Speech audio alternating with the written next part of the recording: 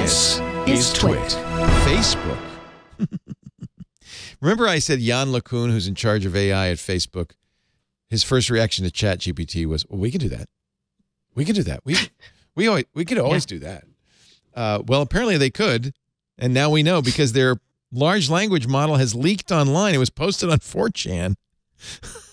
uh, Facebook has been very, just like Google, very careful about it. Unlike Microsoft, they've been very careful about who has access to it. And, they, and what they would do is, is you'd have to apply, and they'd give you approval.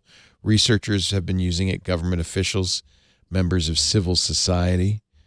Apparently, somebody got it on, put it up on 4chan.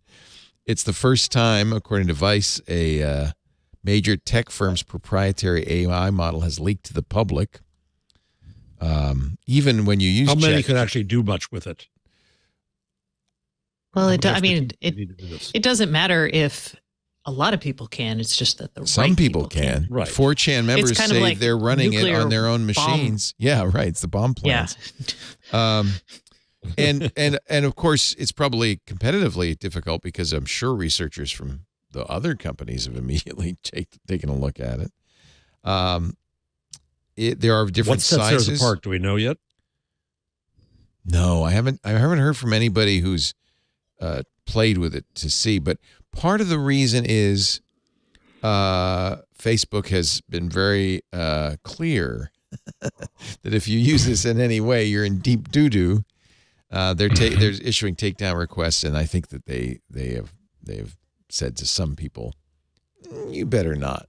You you better not." Uh, Clement You- Delangue, who's the not- CEO of Hugging Face, that's the uh, Stable Diffusion company, Stable diffusion. yeah, posted a staff update from GitHub regarding the repository. Company Meta Platforms has requested a takedown of this published model, characterizing it as an unauthorized distribution of Meta properties that constitutes copyright infringement or improper authorized use, and cautioned users against not only using it but uploading any weights to the internet. Uh, they're, they're, they acted. Facebook acted very quickly on this. And it's not something you can really, because I- know it's not necessarily training, but you're still running a pretty large model. You need some serious compute horsepower. Not saying that, but it, it's not necessarily like something an individual could do. You need access to some. The one, the, the, I- and I don't know because I, you know, I, I'm I'm a moron, but I with stable with stable diffusion anyway, which I have uh, installed and used. You can download other models. They call them checkpoints, but you can download uh, a series of. You can download a model that's trained on a series of images from you know anime, and then you have all you have a more of an anime flavor to the stuff that's generated by it. I don't know if it's in that state. Uh, um, it's not clear to me.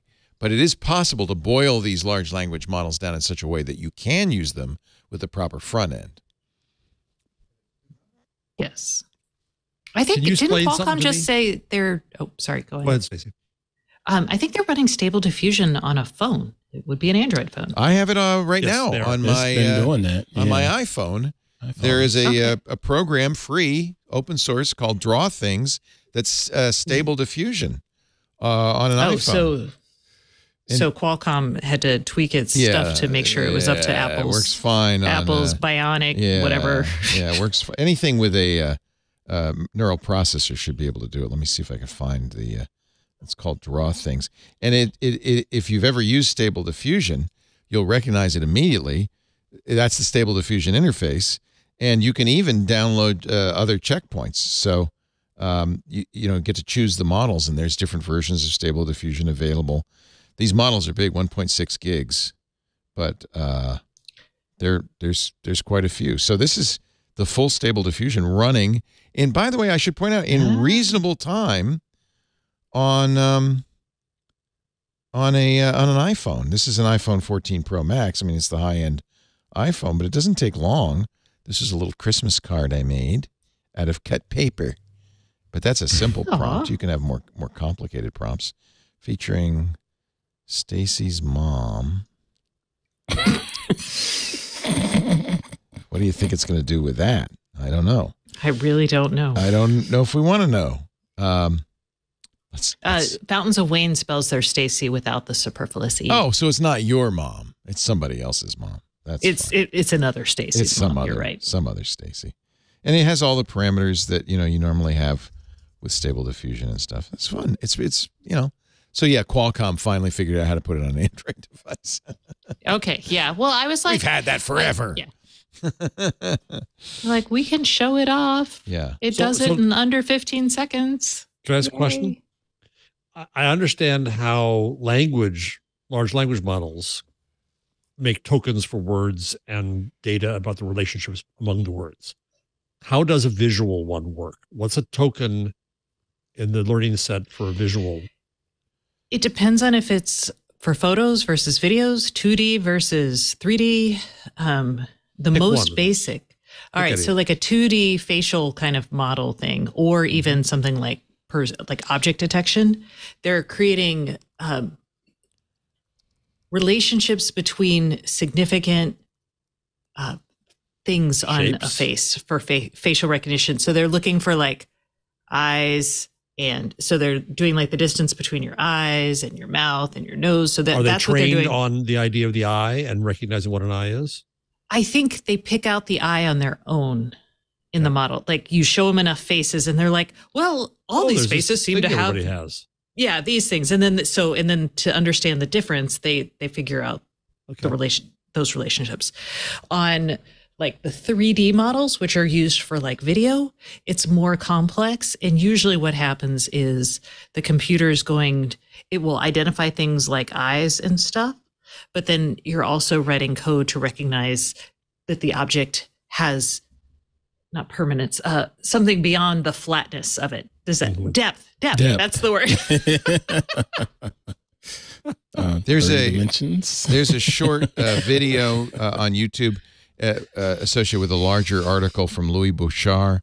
How AI generates new images. GANs, simply put, is Louis, L O U I S B O U C H A R D dot AI. Uh, and you can find To him on- generate new on images, we use an architecture called generative adversarial network. And guess what? It works He is a generator French. composed of an encoder and a decoder. Both are I didn't understand you, sir. networks. As are you. The decoder works Anyway, you can you can watch this. You know what? YouTube is really good for this subject. By the way, there's some really fantastic. yeah. Hey, I'm Rod Pyle, editor in chief of Ad Astra Magazine, and each week I join with my co host to bring you This Week in Space, the latest and greatest news from the final frontier. We talk to NASA chiefs, space scientists, engineers, educators, and artists, and sometimes we just shoot the breeze over what's hot and what's not in space books and TV. And we do it all for you, our fellow true believers. So whether you're an armchair adventurer or waiting for your turn to grab a slot in Elon's Mars rocket, join us on This Week in Space and be part of the greatest adventure of all time.